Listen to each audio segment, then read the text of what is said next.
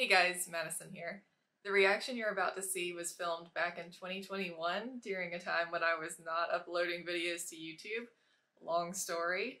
But due to popular demand, I've decided to start uploading those reactions here on YouTube in special From the Vault Fridays.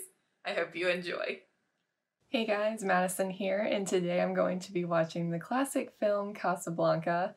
I actually had never even considered like putting this movie on a poll until when was it? It probably was a couple of months ago now. My cousin was actually over at my house and uh, Casablanca is her favorite movie, and she was like, Madison, you have to watch Casablanca. You have to put it on a poll. And I was like, okay. Um, so then I like I put it on my list and I was waiting for the right time. Spooky movie month came along and then you know it was it was scary movies, nothing but scary movies. And so now that October is over and I'm going into November, I was like, okay, I was ready to just put like I don't know if wholesome is the right word. I just wanted to put things that are really the opposite in a lot of ways of scary movies on my poll this week, in case you can't tell. No jump scares this week, hopefully, no um, creepy psychopaths or that sort of thing, or ghosts, even. None of that. Just a good, solid classic that somehow I've never gotten around to watching. There are a lot of classics, actually, because I'm so young that I never got around to watching just because they were way before my time. Um, like I haven't seen The Sound of Music. I haven't seen Gone with the Wind. I had there's a lot of classics that I somehow have never seen, but I'm looking forward to hopefully starting to watch more of those classics now that I'm reacting to movies and I can react to them and watch them with people who maybe have loved them for years. So I'm looking forward to watching this movie and finding out what it's all about and how this romantic drama is going to play out. So, without further ado, guys, let's watch Casablanca. Many eyes in imprisoned Europe turned hopefully or desperately toward the freedom of the Americas. Here, the fortunate ones, through money or influence or luck, might obtain exit visas and scurry to Lisbon. Two German couriers carrying important official documents murdered on train from Oran. Murderer and possible accomplices headed for Casablanca. These papers expired three weeks ago. You'll have to come along. Halt! Halt!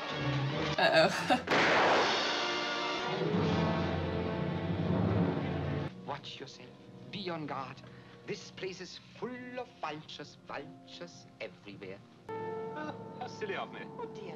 I left my wallet in the hotel. Oh. I... Uh, he probably took your wallet. Didn't he reach over to his pocket? Thank you, Captain. It's very good to be here. Major Strasser, my aide, Lieutenant Cassell. Captain Tonelli, the Italian staff is at your Very command, kind Major. of you. You may find the climate of Casablanca a trifle warm, Major. Tonight he'll be at Rick's. Everybody comes to Rick's. I have already heard about this cafe and also about Mr. Rick himself. Cafe American. This is certainly a clash of cultures going on here. Oh, nobody else gave me a thrill, honey, with all your faults. I love you, still have to be you. Wonderful you. Will you ask Rick if he'll have a drink with us? Madam, he never drinks with customers. Never. I have never seen it. What makes saloon keepers so snobbish? Your cash is good at the bar. What? Do you know who I am? I do. You're lucky the bar's open to you. This is outrageous. You know, Rick, watching. so was that French guy like kind of allied with the Germans and the Deutsche Bank, they said? You are a very cynical person, Rick. If, if you forgive me for saying so. I forgive you. Uh, thank you. Will you have a drink with me, please? No. Oh, I forgot you never drink. Uh, uh, I'll have another, please. You despise me, don't you? Hell, if I gave you any thought, I probably would. But why? I provide them with exit visas. For a price, Ugarte. For a price. Letters of transit signed by General Weygand. Cannot be rescinded, not even questioned. I don't want them here overnight. Mm, don't be afraid of that. Please keep them for me. Thank you. I knew I could trust you. Waiter, I'll be expecting some people. If, uh... Yeah, I heard a rumor those two German couriers were carrying letters of transit. I've heard that rumor, too. Poor devils.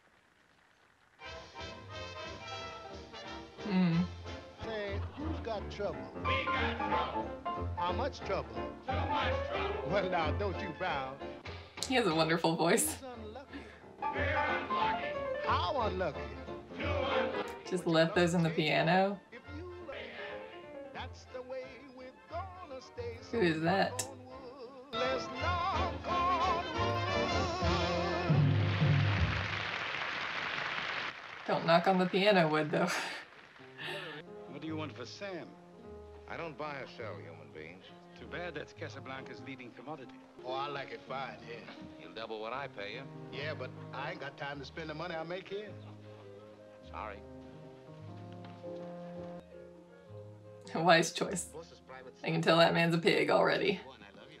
Will I see you tonight? I never make plans that far ahead. Give me another. Sasha, she's had enough. Don't listen to him, Sasha. What do you think you are pushing me around? What a fool I was to fall for a man like you. So go with her, Sasha, and be sure she gets home. Yes, boss. And come right back. Angry girlfriend. I've often speculated on why you don't return to America. I like to think that you killed a man. It's the romantic in me. It's a combination of all three. Tonight, we're going to make an arrest in your cafe. Not again? Oh, this is no ordinary arrest. A murderer, no less. He cannot possibly escape. I'd stick my neck out for nobody. There is a man arrived in Casablanca on his way to America. He will offer a fortune to anyone who'll furnish him with an exit visa. Well, what's his name? Victor Laszlo. Escaped from a concentration camp. The Nazis have been chasing him all over Europe. This is the end of the chase. 20,000 francs says it isn't. Make it ten. I'm only a poor, corrupt official. He is traveling with a lady. I'll take one. I think not. I've seen the lady. And if he did not leave her in Marseille or in Oran, in 1935, you ran guns to Ethiopia. In 1936, you fought in Spain on the loyalist side. I got well paid for it on both occasions. In Casablanca, I am master of my fate. I am Major captain... Strasford here, sir. I'm captain of my soul. Invictus, right? Monsieur Ugarte. Oh. La partie continue. Yes? Will you please come with us? Certainly. Oh no. How did he just manage that? When they come to get me, Rick, I hope you'll be more of a help. I'd stick my neck out for nobody. Pay yourselves, all right, Sam? Oh, that poor guy. What is your nationality? I'm a drunkard. and that makes Rick a citizen of the world. Richard Blaine, American, age 37, cannot return to his country. The reason is a little vague. We also know what you did in Paris, Mr. Blaine. Oh, my eye's really brown. You will forgive my curiosity, Mr. Blaine. The point is... He's very smart.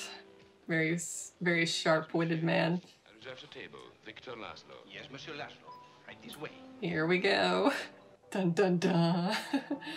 Monsieur Laszlo, is it not? Yes? I am Captain Renault, Prefect of Police. Yes, what is it you want? Merely to welcome you to Casablanca and to wish you a pleasant stay. May I present Miss Ilsa Lund? I was informed you were the most beautiful woman ever to visit Casablanca. That was a gross understatement. You're very kind. The boy was playing the piano. Somewhere I've seen him. Sam, Yes. he came from Paris with Rick. Mademoiselle, you're in Rick's. So they're not tactical retreat, Major. married. She's just traveling with him. I'm afraid for you. We've been in difficult places before, haven't we? But they're yeah, they're definitely involved with each other. But he said she had a la- different last name, right? We're gonna have ourselves a love triangle.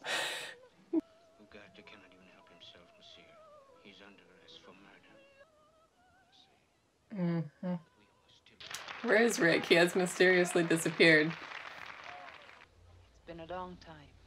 Yes, ma'am. A lot of water under the bridge. Where is Rick? Uh, he went home. Does Did he? leave so early? Sing it, Sam.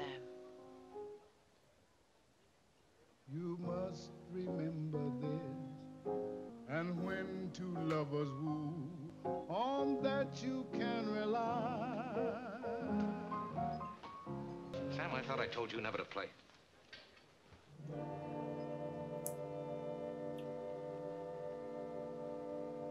Ooh.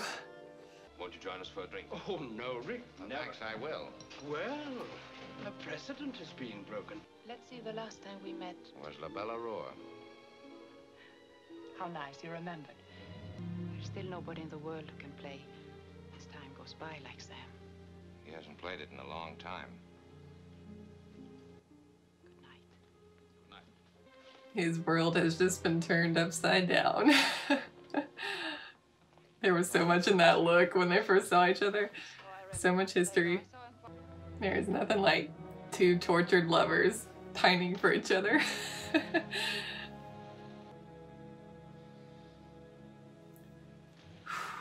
I'm getting nervous already. I hope this has a happy ending. Boss, Yeah, he's wrecked. boss, ain't you planning on going to bed in the near future? No. You ever going to bed? No. Well, I ain't sleepy either. Good. Have a drink. I wonder why he can't go back to America. Because he met her in France. What a look, man.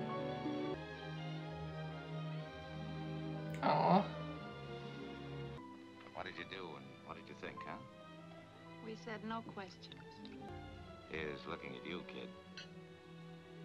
Why, there is no other man in my life. Uh-huh. There was. He's dead. I'm sorry for asking. Only one answer can take care of all our questions.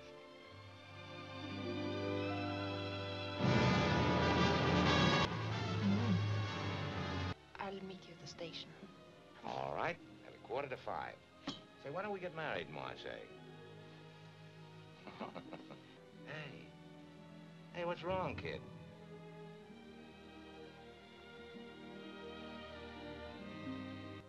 She didn't come to this. She didn't come to the station, does she? Is she afraid to fall in love again because she already lost someone? Or not afraid to fall in love, but afraid to commit fully, maybe? Where is she? Have you seen her? No, Mr. Richard, I can't find her. She checked out of the hotel. But this note came just after you left.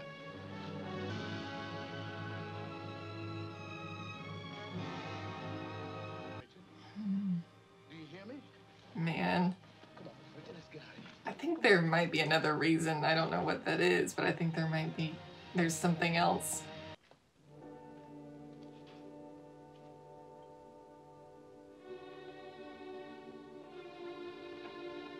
Richard, dear, I'll go with you any place. We'll get on a train together and never stop. Don't, Rick. I can understand how you feel. Uh-huh. Who was it you left me for? Was it Laszlo, or were there others in between? Or aren't you the kind that tell? Oh man, the angst. the angst. Delighted to see you both. Did you have a good night's rest? That's not very well. Her outfits are so beautiful. I love them. Fashion icon. If you will furnish me with their names and their exact whereabouts, you will have your visa in the morning. And the honor of having served the Third Reich. If I didn't give them to you in a concentration camp, where you had more persuasive methods at your disposal, I certainly won't give them to you now. From every corner of Europe, hundreds, thousands would rise to take our places. Even Nazis can't kill that fast. Well, Laszlo, you have a That's right. for eloquence. You would find the conversation a trifle one-sided. Senor Ugarte is dead. I'm making out the report now. We haven't quite decided whether he committed suicide or died trying to escape. Evil, tyrannical people. Rick's gonna give her those papers, isn't he? That he, that he put in the piano. He's gonna give. There were two, right? He's gonna give one to her and one to Laszlo, and he's gonna have to stay behind. Oh no. Oh no. I hope I'm wrong. I don't want them to be separated again. And it would be the opposite of him having to leave without her.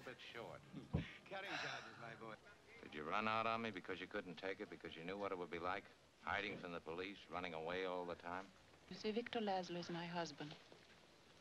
And was, even when I knew you in Paris. Hmm? What? Are they really? We are only interested in two visas, senor. Please, Ilsa, don't be hasty. No, Victor, no. You two will want to discuss this. Excuse me.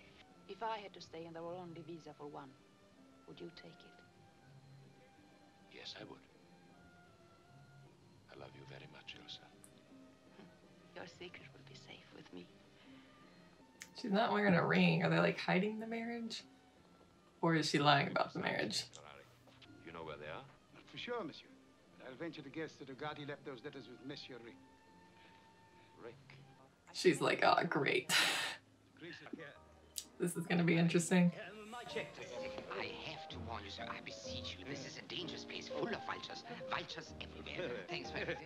He's robbing everybody. I'd like to see if he could rob a Nazi and get away with it. Have you got those letters of transit? Lawyer, you pro Vichy or free French? Serves me right for asking a direct question. Don't tell anyone. Where's your husband? At the roulette table. Trying to win enough for our exit visas. Oh, of course he's losing. Could you forgive her? Nobody ever loved me that much. And he never knew. And the girl kept this bad thing locked in her heart. That would be all right, wouldn't it? Hmm. What is Ilsa hiding? What is she ashamed of, maybe? To connect to that girl's story. Not literally connected, but thematically connected. I'll have Sam play as time goes by. I believe that's your favorite tune. Thank you. Have you tried 22 tonight? I said 22. Leave it there. Vingt-deux, noir, pair et passe. Cash it in and don't come back. Rien ne va plus, hmm. monsieur. Fini. Are you sure this place is honest? Yeah, we all know he's a old softy underneath. There must be some reason why you won't let me have them. I suggested you ask your wife. I beg your pardon? I said, ask your wife.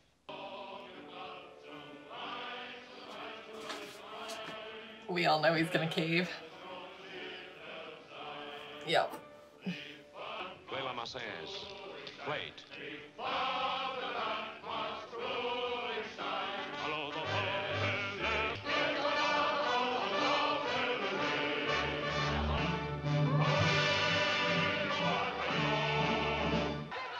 I love it. I advise that this place be shut up at once. But everybody's having such a good time. Yes, much too good a time. The place is to be closed. But I've no excuse to close it. I'm shocked, shocked to find that gambling is going on in here. You're winning, sir. Oh, thank you very much. Everybody out at once. Oh my gosh. Mademoiselle, after this disturbance, it is not safe for Laszlo to stay in Casablanca. This morning you implied it was not safe for him to leave Casablanca. That is also true, except for... Oh man, it's not looking good. Did he give any reason? He suggested I ask you. Ask me. Yes, he said, uh, ask your wife. When I was in a concentration camp, were you lonely in Paris? Yes, Victor. Is there anything you wish to tell me? No, Victor, there isn't. Oh. I love you very much, my dear. Yes. Yes, I know. She didn't say I love you back. She didn't say it back. Wow, so when he was at a concentration camp, she was cheating on him with Rick. Oh. I mean, I'm sure she thought he's never getting out of there. He's gonna die in there, but still, like, not a good look. I feel kind of bad for him now. He was probably like thinking of her and clinging to her as like, you know, when I get out, I'll get to be with her again. And meanwhile, she's like, see ya. oh man. I mean, it's it's clear to me that she's in love with Rick and not this guy. And although she really admires Victor and respects him, it seems that she really loves Rick, and obviously Rick loves her. So I'm rooting for them, but I also feel kind of bad about rooting for them.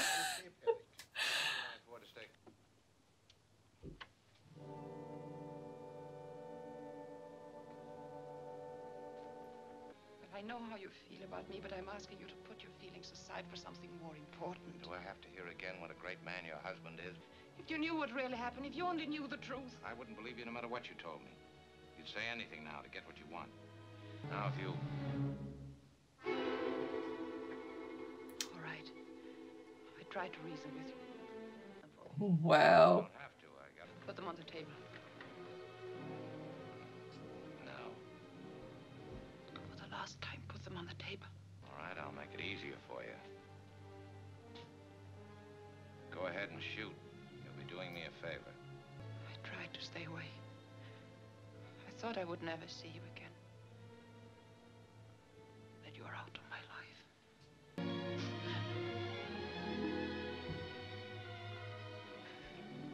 If you knew how much I loved you, how much I still love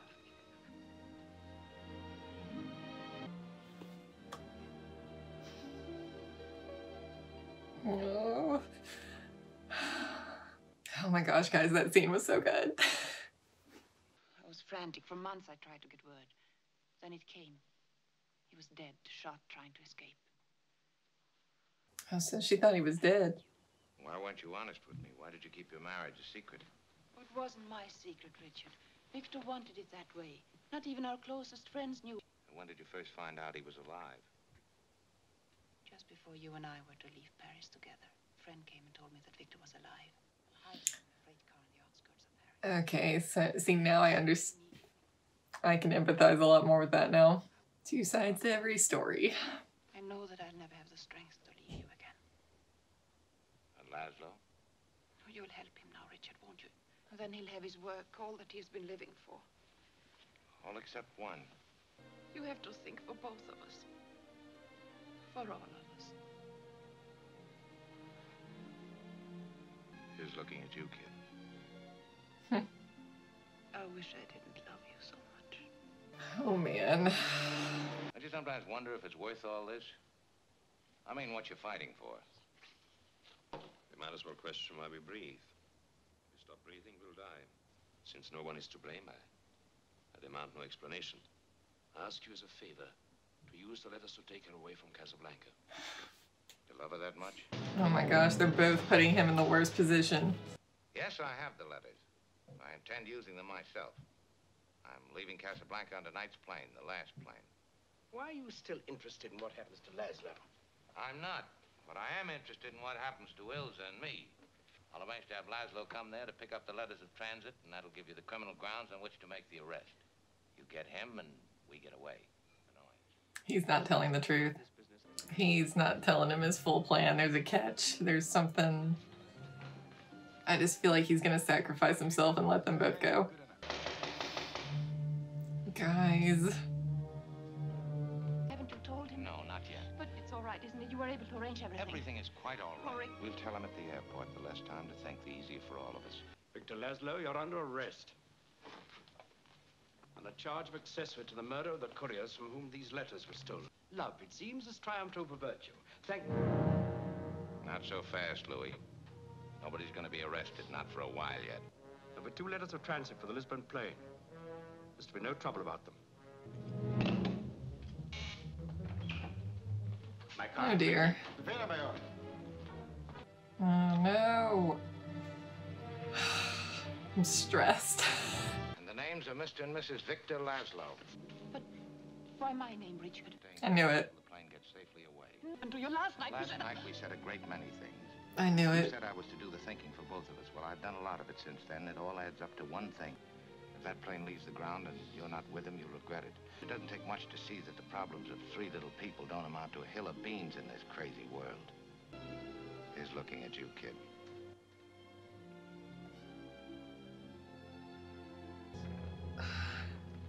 That was all over long ago. For your sake, she pretended it wasn't, and I let her pretend. I understand. Oh my gosh. Welcome, Meg. Bye, Rick. God bless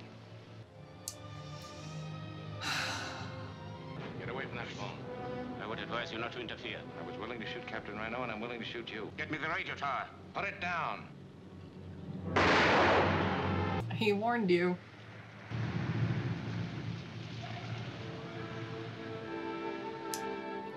Well.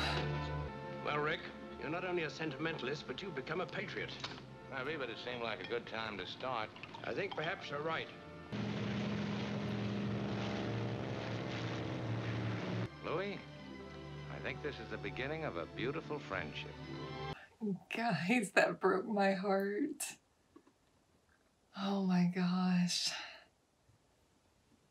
I I don't even know where to start. That was such a beautifully made film. Like the script was so good. Like I I know, I mean, it was my first viewing, obviously, so I'm trying to like take in the characters, learn everybody's names, learn their backstories, all that. But at the same time, I was just so taken with like how clean and efficient the script was. Like, they dropped in all the right threads at the right places. They dropped little backstory bits at like all the right moments, and they were just hitting beat after beat after beat so well and slowly, like, you know from the beginning like they're setting Rick up as this like cold callous guy who's like I don't get involved in the politics. I don't I don't stick my neck out for anybody. He said that multiple times so you know like they're setting him up to where he's going to stick his neck out for somebody.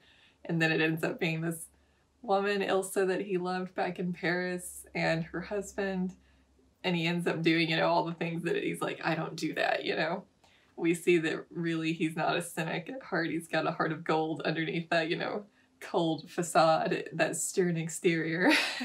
and I love characters like that. I absolutely love that archetype of, I guess you would call it an anti hero, you know? Um, there's definitely a trope of like male characters where it's like, you know, the, the cold, stern, I don't care about anything but myself. It's kind of almost like a Han Solo type. Um, or it's like I don't care about anybody but myself. I'm just making my own way in the world, making my living. You know, I'm not gonna risk myself for a cause or for any particular person. So it's always so satisfying when they do end up risking everything for someone they care about or a cause they care about. Oh my gosh, the love story. I got so caught up in the love story. It was so romantic and so beautiful. And at first I was like, man, so she was just cheating on her husband with him. But then when I found out, you know, she thought he was dead, I was like, suddenly it makes a lot more sense. And I feel even worse for her. Like, that is a terrible situation she got stuck in. And honestly, like, I, I'm such an emotional person that, like, I'm like, she should have stayed with him. You know, they could have run off together, you know, because he's making this deal with, what was his name? was it Huey, Louis? I can't remember the the commander guy he was walking away with at the end. He's like making a deal, you know, to hopefully escape. Um, but it's like I'm such a romantic that I'm like I just I don't care what the situation is. I just want them to run away together, you know. Like I, I understand the logic of there's a way bigger cause at work here and you know way more lives at stake than just two but i'm also like she should do what she wants to do. Um, and her decision shouldn't be based on what Victor wants, if that makes any sense. I, I don't know. It's a really awkward situation because they're married. So, yeah, she should stick by her husband, but it's also like she thought he was dead. So, like, but it's also like a totally secret marriage that hardly anyone even knows about. It's I could go around in circles on this because you're like, yes, she has a duty and a responsibility. She's married, so obviously, it's the right thing for her to do is to stick with her husband, um, and helping him with his cause. Yes, that's obviously very important, but it's like also he could probably do all the work he's doing without her. It's just if she wasn't there, that would take away his emotional support and part of his motivation and probably crush him in a lot of ways. So. um, but the other part of me is like, she thought he was dead and she found true love. And like, it's like in the middle of the movie, at some point, you know, Victor said, I love you to her. And she was like, I know. And didn't say it back. And I'm like, so she doesn't even love him? Like, I, I'm just always of the opinion, like, you know, they should be with the person that they love. But it was clear like when she saw him when she saw Victor singing in the saloon leading the charge in a way she was looking at him with such admiration and respect and you can tell she really does like him admire him I, does she love him i don't know why wouldn't she have answered him? You know, she said, I love you to Rick without hesitation. So it's just, it's really tragic. it's really tragic. My heart is broken, but what a beautiful movie. The score was beautiful. Wonderful performances all around. And again, the script, man, was just so, I don't even know what the word is I'm looking for. So just sharp and a lot of, you know, great themes it's dealing with um, you know, the fight for freedom, the fight against tyranny, how the everyday person can do that. Um, wow. Yeah, that was just a really, really good film. And uh, yeah, I'm going to be thinking about this all day because I just, oh man, the, the sacrifice Rick made for her. And I knew he was going to do that. I knew he was going to be like, you're getting on that plane and I'm staying behind. And it just, there is just nothing better to me than a angst, you know, torture filled romance. Although, of course, like I said, I prefer happy endings where they end up together, but there are some really great tragic romances like this one. And, and it's not totally tragic because it's not like one or both of them died or something. It could be worse. See Wuthering Heights. That's another really tragic romance that I love. But yeah, I prefer happy endings, but when tragic, sad endings are written very well. I love those too. So, I mean, this is a fantastic movie. I can totally see why it's a classic. Um, and I'm so glad I watched it. So, thank you to everyone who voted for it on the poll. I hope you guys enjoyed this reaction and be sure to come back next week. I think it'll be Film Friday number 17. Thanks again, guys, for watching. I hope you enjoyed and see you then.